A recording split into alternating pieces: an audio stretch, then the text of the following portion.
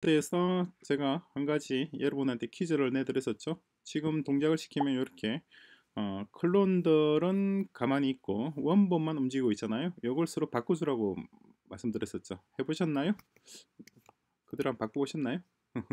그리고 이 잡아먹는 것도 좀 별로 만나도 아무런 그게 없어요. 그죠? 클론하고는. 그래서 이걸 이제 바꾸는 과정.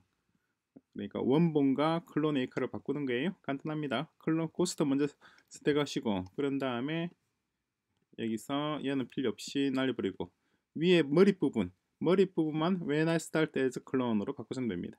그죠? 바꿔주고 밑에도 마찬가지 어, set lives to 3 여기서 얘는 지워버리고 when I start as clone하고 set lives to 3 얘는 클론마다 이렇게 해서는 안 되겠죠.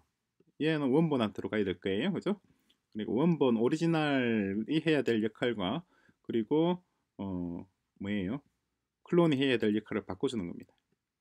구분, 구분하는 거예요. 그래서 when clicked 얘는 원본이 하는 역할입니다. 그렇죠? 원본이 아닌 오리지널이 하는 역할이고 그리고 얘는 또 hide 해야 될 거 아니에요?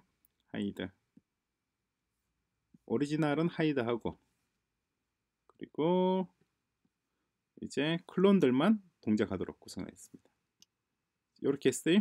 일단 뭐 간단하죠. 왜 머리 꼭지만 하나씩 바꿔준 게 다예요. 그죠? 머리 꼭지만 되게 바꿔주고 코드 위치만 어느 한두 문장 정도만 수정을 했습니다. 그죠? 요 내용은 Quiz and Answer 여기다 넣어뒀습니다. 아주 간단하죠? 초 간단합니다. 볼까요? 클릭하니까 와 마구 돌아다니고 있어요. 클론들이 보이시죠? 그래서 얘네들을 이제 만나서 클론. 짠. 똑같죠. 아, 보이시나요? 제대로 못 보셨을 수도 있겠군요. 다시 보겠습니다. 둘 다 사라졌죠? 그리고 3초 뒤에 어디선가 둘이 딱 나타났죠? 그죠. 이런 식으로 바꿀 수 있습니다.